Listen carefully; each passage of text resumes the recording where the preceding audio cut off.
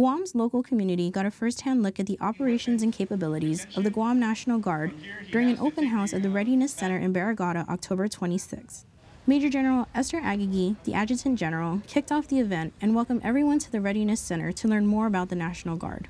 We have so many capabilities that it's probably a, a, good time to open our doors to the community and to the public and to just showcase, you know, all the wonderful things that are happening here in the Guam National Guard. And we're all about taking care of our island and our nation.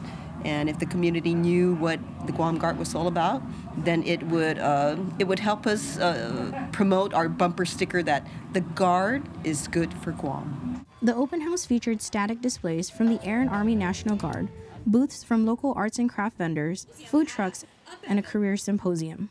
What we're trying to do is provide uh, service to our veterans um, who give so much to their our island and our nation. Basically, opportunities for what, what's after the military service. Learning that uh, the National Guard has the highest veterans population here in Guam, so it seemed like a really good fit for us for our very first event to partner with the Guam National Guard basically they come with a certain set of skills that is, is could be used uh, for many different companies out in the workforce. And so really what we're wanting to do is just trying to find those that pairing from um, what they've learned in the Guard and what their skill sets are and, and what kind of opportunities out in the workforce that they could easily make that transition. Though the open house was the first of its kind for the Guard, Aguigui says the public has more to look forward to in the future.